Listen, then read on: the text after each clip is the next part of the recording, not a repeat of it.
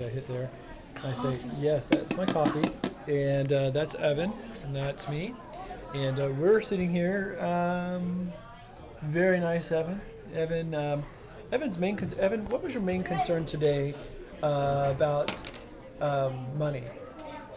I'm getting these little quarters. And uh, why in the world would you be interested in having having quarters? to fiddle around, What? to fiddle around with them. If you any of you out there know Evan, he's always got to be twirling things with his hand, and becomes a little obnoxious after a while. So I'm going to turn the camera over to Evan.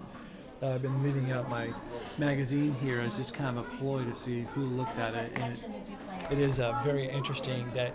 I think I blogged about this one another time, but um, it's very interesting uh, what kind of people uh, come over here and want to talk about Linux and things like that.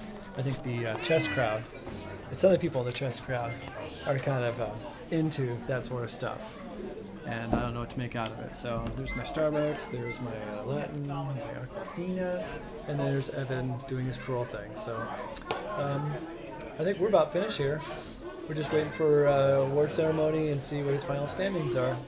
So the rest of this is going to be turned over to Evan, so it should be fairly, fairly interesting. Uh, and this is the hallway that we've been hanging out in. So, all right,